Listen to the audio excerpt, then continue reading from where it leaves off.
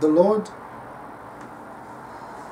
the Lord walked with the children of Israel in the desert. And when the cloud of the Lord's glory came down, he led them through the desert. Done? Mm. Until they entered the promised land. Amen. Mm. And so, in the process of going through the wilderness, he took Moses to heaven and showed him the pattern of heavenly things. No, no, no. He took him to heaven and he showed him heaven. Is in itself explanatory that he took him to heaven and showed him heaven. Amen. So he gave him a tour of heaven and showed him everything. Amen. And then when he came back down, he said, I want you to do here on earth exactly what I showed you up there on the mountain. So the Lord caused Moses to, to construct the tent. I think we should close this for this for the for the for the sake of the recording. Thank you. So so he he he said, Do exactly as you saw on the mountain. And Moses did exactly as he saw on the mountain. Amen. All the articles of worship. Everything. And he even told him there was a certain man who was going to give the skills needed to design uh, certain things, the garment and all these things. So, now, the church, which was erected in the New Testament with so much power, the Holy Spirit tabernacled. Amen? Came over them, He filled them, and many people got saved.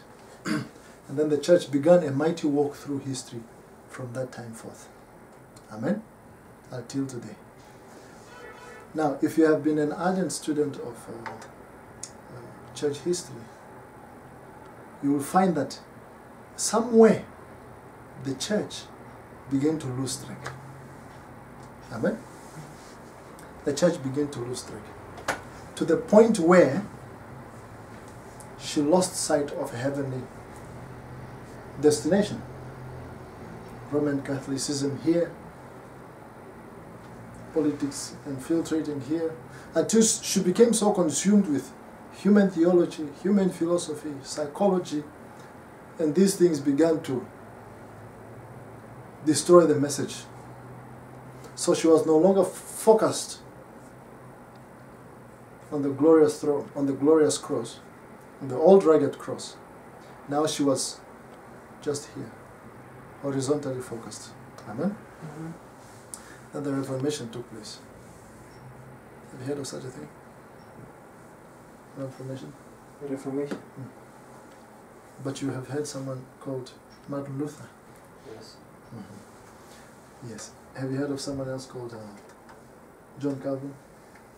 John Wesley. Okay. So, so, so these men, many, many men. So, the Lord used them to do a mighty reformation in the church to take her out of Roman Catholicism because Catholicism in session is not Christianity. We don't, you know, the church does not pray to Mary. Amen. Even two days ago, I was looking on you on, on, Twitter. I saw this uh, uh, Catholic page. There's a prayer written, and then at the end it says, "Mary, please pray for us," or something like that. Mary, Queen of Heaven. Uh, so all this idolatry there. You say, surely, surely, surely, Catholicism is not uh, the Church of Christ. So, but now, when you look at the church, even from that time forth, just this recent yesterday, until today, all these uh, sin has, the, the, the way sin has been infiltrating the church. Homosexuality here, the gospel of prosperity here. Uh, now, and all this worldliness that has taken over the church. And so the church has walked about wandering, going around as, as though the Messiah had not died. walking about. And essentially, in that process, they have been in the church undelivered. It's, it's, it's even like an oxymoron. How can you be in the church yet you're not delivered? When people that are in the church are supposed to be the people that are delivered. Amen? But you see, they are preaching, but then when they leave, yeah, as the man of God said, then they go, someone, someone else called their husband is waiting. So it's a man in the church, but then when he go outside, he's waiting for his husband. or a woman preaching and then she goes, she's waiting for her wife. So all these, uh, so the Holy Spirit has been missing in the church. Yes, when he sent his mighty prophet, the, the, the, the, Lord showed the prophet the vision that they were walking on this road until they came to a junction. Then there was a junction going left, I mean a road going left, and another road going right. And the Lord told him, take the right one. Amen. And so they took the right turn and they kept going, and this road kept meandering, taking turns, until they came to a point place where the road went right and more right and took an even more right turn. Hallelujah. Until they came to a place where he now saw the house of the Lord. And the Lord said, Look, the house of the Lord. And when he looked at the house of the Lord, he saw that there was a dome and there was a cross. And there were some pieces of metals that were co co connecting the dome to the cross, I think. Or the cross to the roof. There was a dome. Mm. And there was a cross on top of the dome. And there were pieces of metal that were connecting either the cross to the to, the, to the dome or the or dome to the roof. Yeah. And so that captured and now but then there was the glory on top. There was the glory that was just touching the cross. So that, that uh, you know, made him wonder, why is the glory not touching the roof? Yeah? And so that really caught his attention. Just a few pieces of metal which were old, ragged, which were, you know, about to break. And then the Lord said, let us enter into the house of the Lord. And so the, the doors opened automatically. And then all of a sudden the, the voice of the Lord was coming from the, from the altar, from the pulpit, from the altar. And then he saw the black chairs and uh, they were all empty, an endless sea of chairs. And, uh, and then all of a sudden, either, either before the voice or after the voice spoke, mm. the grass began to grow. Grass, grass, began to very, very quickly until it covered all the chairs. So the voice that spoke said, They used to worship here, but they are no more. And so that really made him wonder. So if this is the house of the Lord, and the Lord is saying they used to worship here, Lord, are you saying that you are not seeing anyone in the house? But there are so many churches, so many pastors, so many congregations, you know. Now, is there nobody in the house? So that's the message. It says, the church. So the Lord showed him that to show him how much work there is to be done before the Messiah comes. Amen. And so, so that is the state of the church when the Lord sent his prophet. So if we are to dispute, we cannot dispute with the prophet. You know, all you see is just the vision. You don't ask the Lord to show you that kind of vision. The Lord himself show, shows you what he wants you to see. Amen. And uh, so, so the Lord then revealed that mighty revelation that there was no one in the house. They are giving Holy Communion, but he doesn't see them in the house. And, and that, of course, this is, this is the time of, uh, you know, gay-friendly churches, and they, they are called, uh, what do they call Seeker-friendly churches. That for us to, to, to invite more people, let us go to a club, let us ask the club to give us some, you know, space, and let us invite people and say, just ask us questions, you know, and uh, uh, in that way, you tell us, what do you want to see in church? You know, just tell me, and then, and then they begin to to, to they begin so in that kind of your philosophy now like they begin to change the way they do church based on what the unbelievers are saying because they want the unbelievers to come to church So now in that sea, so they used to worship here, but they are no more.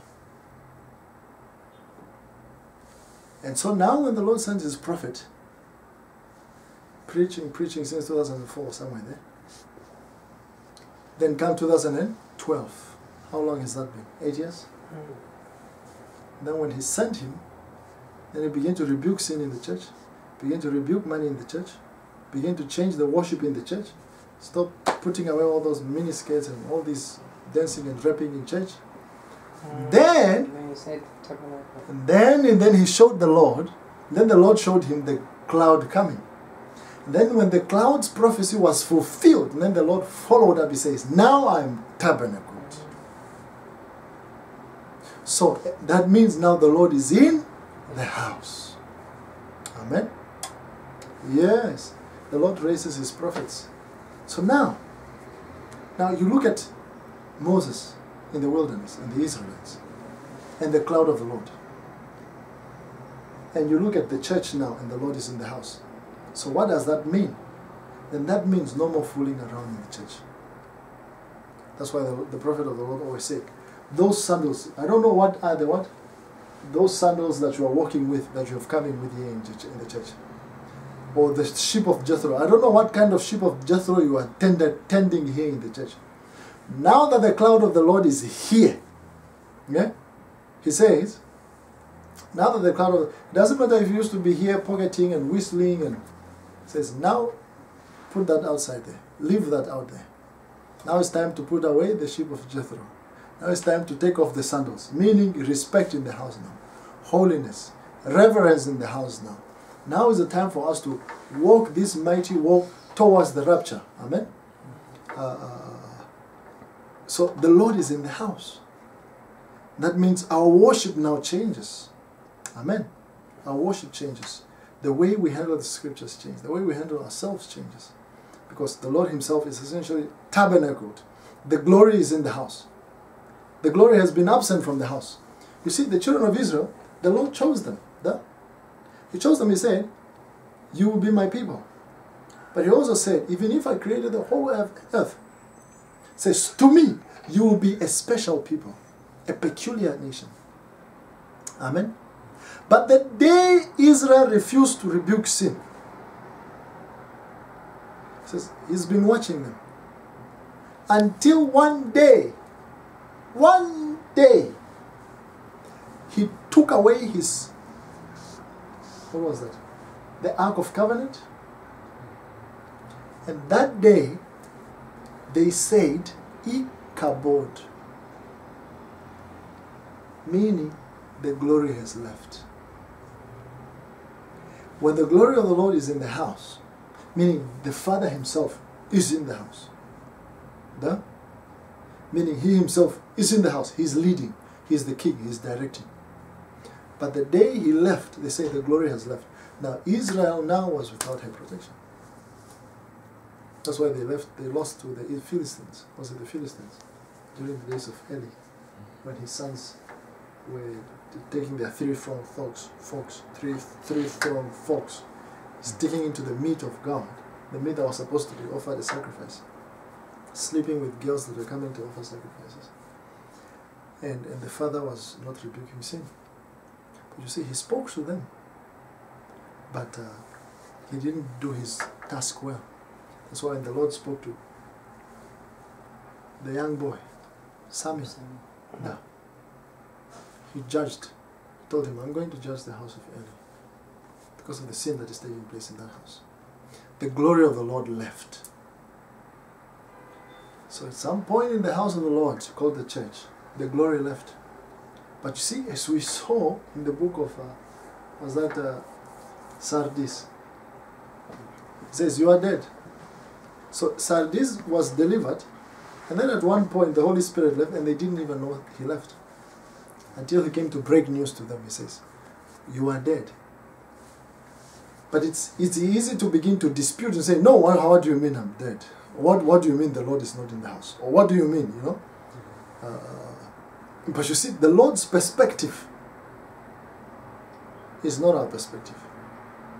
And as long as we are not submitting to the ways of God, we will always be prone to taking other ways that we are not not supposed to. And all the time convinced that we are walking in the ways of the Lord, but we have essentially left it a long time ago. Deception is very dangerous. Yeah? Very, very dangerous.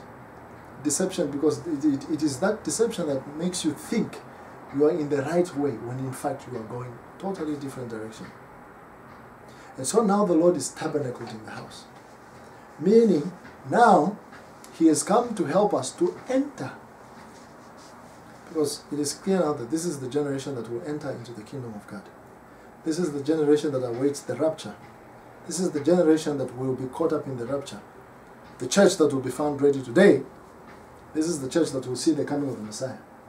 So, times have changed. And indeed, this is the greatest time in history. Yeah? The, the prophets of old, they looked forward to this day and they say, How I wish I'll be in that day.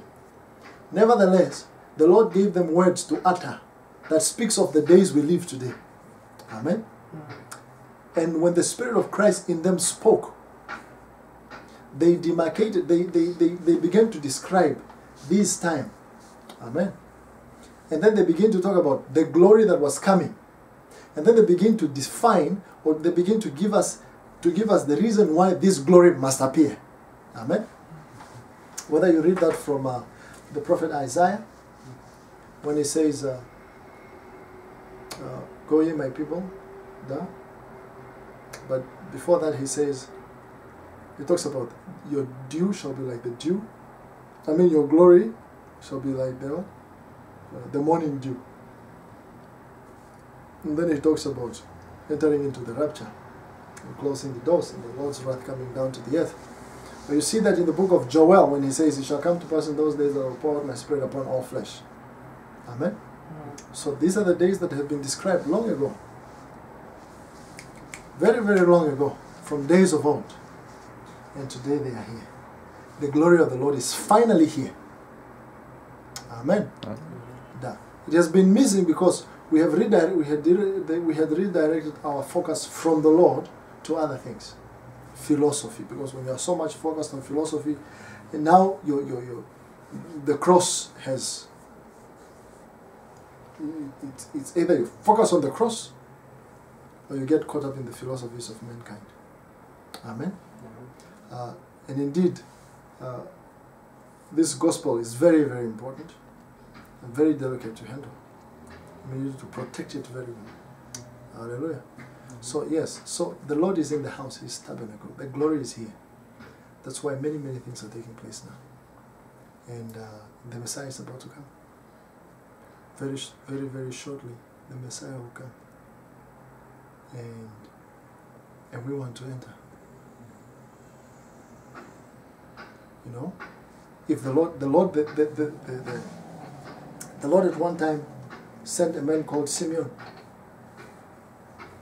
And he told Simeon that Simeon will not die until he sees the salvation of the Lord, until he sees Jesus. Meaning, Simeon was not going to die until the Messiah comes. Amen? Meaning, Simeon was the sign and a wonder to his generation. Hallelujah. Meaning, when you look at Simeon's life, you begin to tell the timeline. So it was just a countdown. The more his the more his days advance, the more the more closer the coming of the Messiah was. Amen. And so even today we know that the man of God is one of the two witnesses. And so we know that he will be here even after the rapture to continue some work. Amen. And we know that, yes, then after the rapture, very mighty things will take place between him and the Antichrist. So, then that means during his lifetime, the Messiah is coming. Hallelujah. You see how close it is. So as long as he's alive, and he will be alive, as long as he's alive, the Messiah will come. The Messiah will come during his days of prophesying. And he will prophesy even after the coming of the Messiah. Meaning, and you see now he already has gray hair. so meaning, the, the, the older, the more his days advance, the closer we are to the coming of the Messiah. Now, we don't want to set any dates, but you see, now that the, all these prophecies have been fulfilled, the, prof, the vision in the vision has been fulfilled. And now, the, the, the transfiguration that he saw in that vision also now has taken place. Meaning what's left now is the coming of the Messiah. So there is a mighty, mighty countdown to the rapture right now. And if we are wise, as I said in that text, say now there is no more time to fool around. If we are really wise, now is the time for us to, to begin repenting on a serious note. Repentance must become our daily practice. Because we do not want to be found unaware. We do not want to be found, uh, uh, like the Bible says, who is that wise and faithful servant? Yeah? Who will be found giving food to his servants at the time, at their time. But what if that servant begin to what? To drink and misuse others. And then he says, ah, my master is still a long way off. See, we do not want to be those ones who are foolish and says, ah, the Messiah is not yet is not yet come. So let me just relax. My prayer life here, my fasting life, ah, and I'll do that later. I say, no. Now is the time to be that wise and faithful servant. You take your fasting life seriously. Take your prayer life seriously. The study of the word, you take it very seriously. Meaning now, the coming of the Messiah consumes you like never before. Amen? Because that will be a one time event. It will never be repeated. It's not going to be a trial. Eh? It's not going to be a, a, a test run. To say, okay, let's test it one, one time. All right, they are ready. They are, they are not so ready. Okay, let's try it again. No, no. Once it takes place, as the, as the prophet of the Lord said, it is irreversible. It will never take place again. It will never happen again. So really we have a golden opportunity. This is the golden opportunity that the generations have been hoping for. Amen? Because for those that died before us, they always thought, what if the Messiah comes today?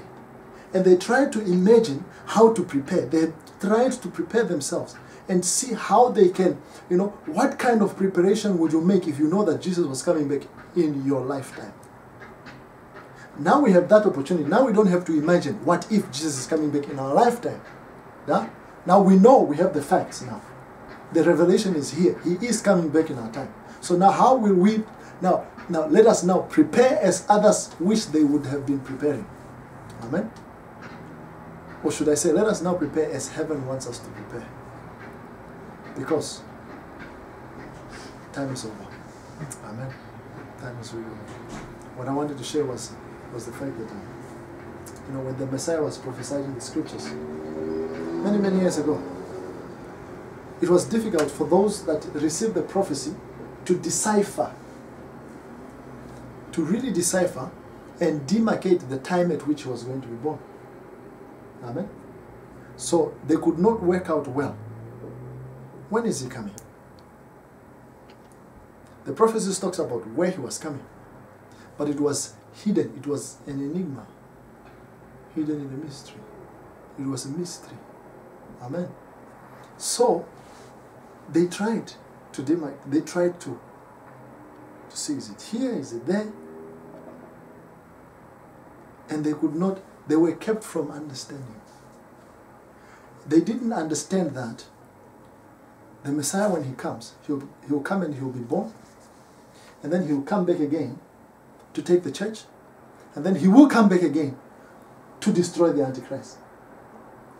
In fact, when he came first, those that understood that it was he, they now were asking, so when are you going to destroy this, this Antichrist here? I mean, when are you going to destroy the Roman, you know? Because they expected, for them they expected that when the Messiah comes, he will begin to destroy all these other, you know, superpowers, and then he will begin his reign. Amen. So, yet the scriptures had demarcated three types of coming. Amen? Three types of coming. They only thought when he comes, he will deliver us from our captivity and he will begin to destroy all our enemies. And then we will begin to he will begin to rule. But now we understand that actually there were three. So he coming here as a baby, you know, for unto us a child is born, to us a son is given, and the government shall be on his shoulder. Yeah? He shall be called Wonderful Counselor, Mighty God. Then it says, He will rule upon the throne of David. So that was another dis- dispensation. So this dispensation of him coming as a baby, and then him coming to rule over the house of David and to establish it with righteousness and justice. Amen. Even Daniel now talked about when the Messiah will come, and then he was going to judge the nation in his glory, seated on the throne. Amen. Let us pray. Father, we bless you. We thank you for this day. We thank you, Lord, for your coming back very soon. Lord, we give ourselves to you. Father, we repent even today. Lord, we ask you to purify us. Father, separate us, make us holy and righteous, and take away all sin, O Lord. Father, I pray, O Lord, that you keep us fixed on the old rugged cross, that, that our eyes may keep looking forward to the coming of your glory, even as Titus 2 has said. And Father, I pray, Lord, that uh, we will not lose focus, that, Lord, we will not be distracted, that, Father, will keep our eyes fixed on you. In the mighty name of Jesus. Lord, how we look forward to your coming, how we look forward to you, Lord Jesus, for the day you come to, re- to redeem us and to take us to heaven. Father, I pray, Lord, that you help us, Lord, to be different, to be holy, to be righteous, to prepare for the coming of the Messiah like never before. In the mighty name of Jesus Christ we pray. Amen.